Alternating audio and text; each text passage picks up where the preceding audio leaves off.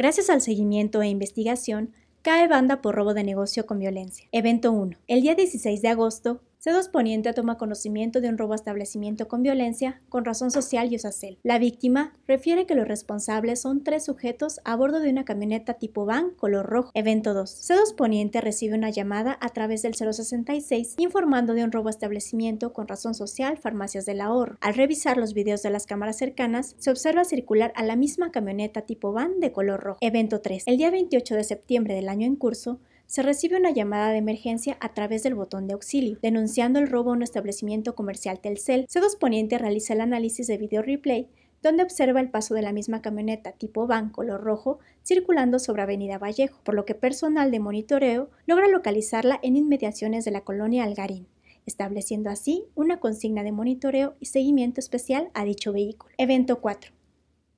El día 13 de octubre del año en curso, Dando seguimiento a las consignas de monitoreo de la camioneta, detectan a un sujeto a bordo de una motoneta aproximándose a ella y abordándola para moverla sobre la misma calle, por lo que se da seguimiento al sospechoso, creando un cerco virtual de manera estratégica por varias calles de la ciudad, hasta que se le observa llegar a una calle de la colonia Centro, donde deja un paquete en las afueras del establecimiento comercial Martí.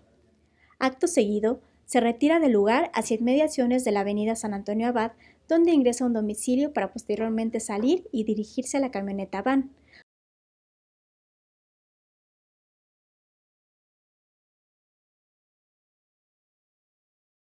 Por lo que de inmediato, personal de Estado Centro realiza un cerco virtual por varias cámaras hasta observar que se detiene frente al mismo establecimiento comercial Martí. En el lugar, se observa que el dicho sujeto intenta abrir la protección del establecimiento en diferentes ocasiones y utilizando varios objetos. Posteriormente, se observa a una mujer salir del local.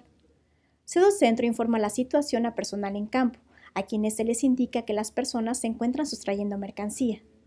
Personal policial en campo responde de manera inmediata sorprendiendo a los sujetos, quienes al notar a la unidad se dan a la fuga dando inicio a una persecución por varias calles. Gracias a un trabajo conjunto entre personal en despacho y personal en campo, se informa que es detenido uno de los probables responsables. Asimismo, se logra la detención de una mujer que se encontraba al interior de la camioneta. Minutos después, se reporta la captura de un tercer involucrado, por lo que los sujetos detenidos son trasladados junto con la mercancía recuperada al Ministerio Público, dando inicio a la averiguación previa por el delito de robo a negocio con violencia.